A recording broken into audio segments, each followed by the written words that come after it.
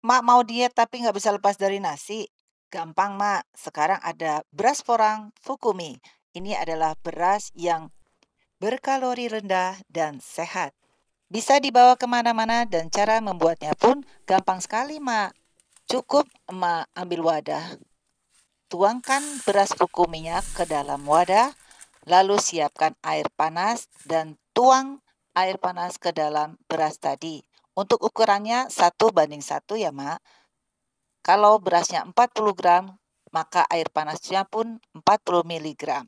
Setelah itu bisa emak ratakan dan emak tutup diamkan selama lebih kurang 15 menit. Setelah 15 menit emak bisa lihat penampakannya, Mak. Tuh kan hasilnya sama seperti nasi pada umumnya. Tinggal emak sajikan di piring dan emak tambahkan lauk pauknya sesuai selera. Nasinya putih, bersih, dan rasanya pun sama.